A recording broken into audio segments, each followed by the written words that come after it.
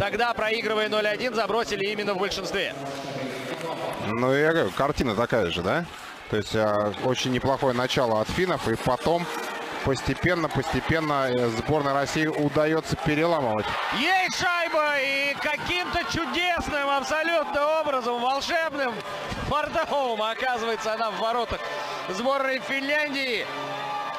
Ну, таким, Веливех Вилайнин явно в шоке. Между ног у него шайба проскочила от конька собственного хоккеиста. Причем не таким и чудесным, да, я хотел сказать. чудесным Просто для рикошет. нас-то чудесным. Почему?